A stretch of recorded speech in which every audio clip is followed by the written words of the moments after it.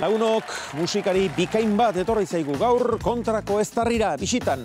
Korrontzi taldearen kantaria, Agus Barandieran! Bago, Agus! Aspaldiko! Zer? Bizi algara! Hemen txegaude. Ondo?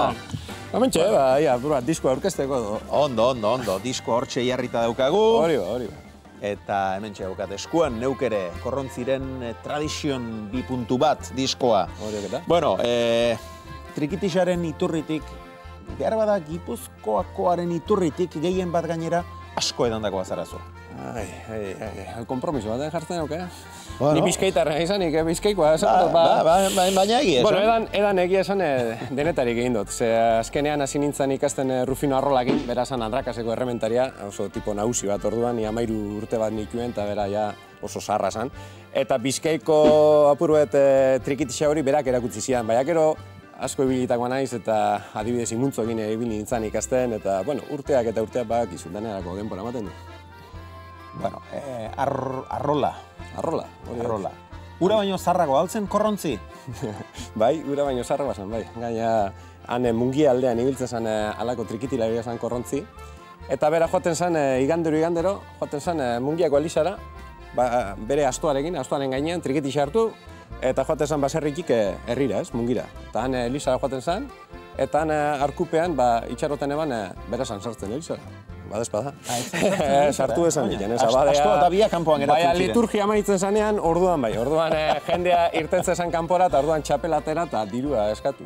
Oino. Eta bueno, horrela egiten zen. Eta horrela bizi izan ura. Eta aste bat eta bestea eta horrela bizi izan. Eta orduan eh, musikarekin ba nola horrela ibiltzen garen gaur egun ere, ba, historia polita zela uste genuen eta horrela horrela jarri genion jarri genion korrontzi. Zuek ere elizan etzarete sartzen, baina gero txapela pasa bai. Ez, ez, ez, gara, ez gara saliek, ez, egia esan, ez dakit, infernua joango garen, baina, bai, bai, ez gara Bai, saliek. ez. bueno, bueno, aizu eta ez alda bitxia tradizioan hain errotutako talde batek gaur egun alako arrakasta lortzea?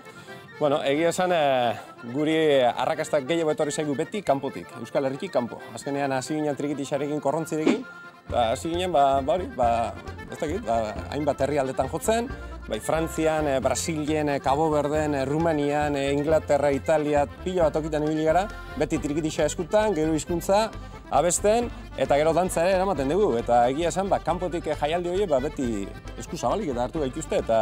eta Bueno, jaialdia bakarrik ez, gero sariak ere asko izan dituzue. Bai, bai, batzuk bai.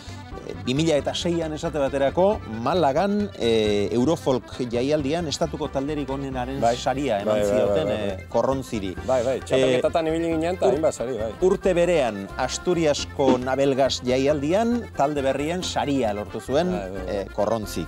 2000 eta zortzien berriz ere Malagatik deitu zieten Eurofolk jaialdirako Bai. Eta han Europako talderik onenaren saria jaso zuten. Bai.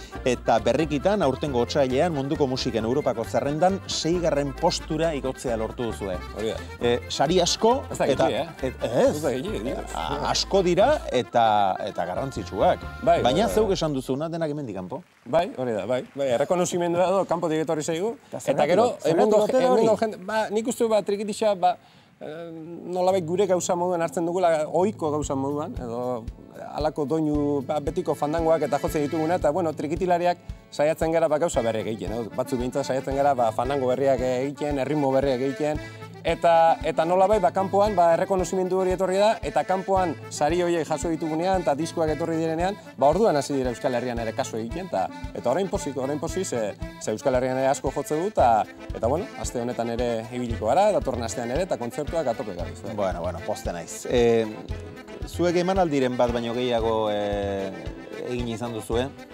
Garikoiz mendizabal txistulari handia. Bai, horixe, bai, bai, bai, horixe. Bueno, eta gainera Korean izan berria da Garikoitz, eta ekarri behar dugu, eh, kontrako ez Baina Korean oso ez du ikasi.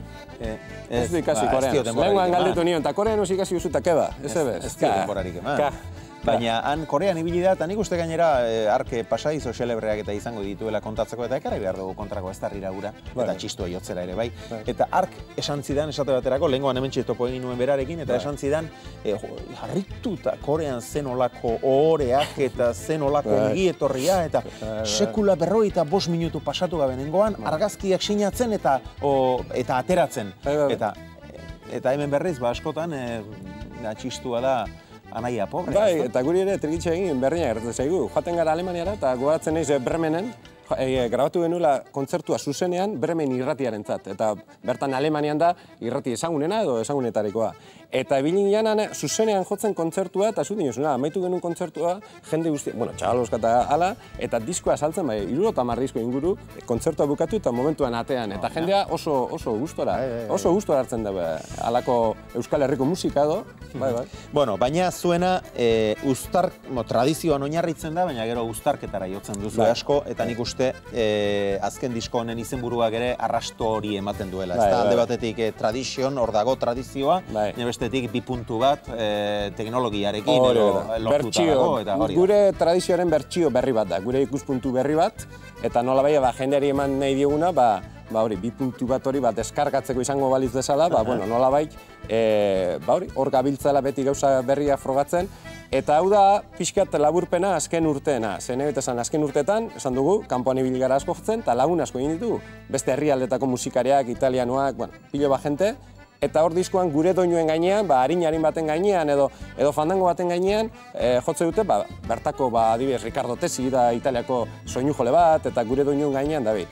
Hor daude, kanpo aldeko, ba, irurogei bat e, musikari, e, korrontziz aparte. Baina. Bai, Euskal Herrikoak ere badaude, ba, Mikel Urangari, Mikel Marquez, alako jendea ere badago, bai Euskal Herriki kanpo ere hainbat eta hainbat, Phil Cunningham eta eh, Michael McColdrick, jende asko dago. Eta azkenean da laburpen bat, azken urte hauetako laburpena, eta nik uste dut ba, oso disko txukuna gatiela. Bueno, Nis esango depa. eta Nis esango depa. zuek sinetsita egin duzu. Hori hori, hori hori. E, urrengo emanaldian nun izango duzu, eh? Bueno, azte buru honetan, eh, egongo gara ostiralean Madrilera guaz, Madrilen eh, folk harria izeneko jaialdi bat dago, larun batean getxon egongo gara, eta datorren astean egongo gara amaikan eh, Asturiasen, Mieresen, eta amabian egongo gara Bilabonan, Bilabonako polikiroldegian, eta bertara etorriko da. Gariko, Ibon, Ibon Koteron, eh, Ale Sardi, pilo bat jente etorriko da bertara, eta diskoa bertan aurkeztuko dugu. Baina, bueno, bueno, baina gaur apirilak eh, bi egun ditu eta gaur kontrako eztarrian da. Agus, ez da bakarrik etorri eta gaur bertan ere joko diguzu, zerbait, ez da? Gu jo egingo dugu. Ander eh, Bai, azu ur- ezagututa... hurtado esaratxo. Bai, hori, bai, bai, ekarri, ekarri, bai, bateria eta jotzen da, perkusioa, bai, azuk ere zerbait egingo duzu. Zu artista. Nik- zara. nik Beti entzun, artista nik egiten entzun zara. eta txaloa jo. Eh, Apa, txaloa, mutilak. abestu, abestu inbar duzu. Abestu? Bertxo batzuk. Txoa, bai. Eh? Bai, venga. Venga, bai. Bueno, bueno, Venga, ah,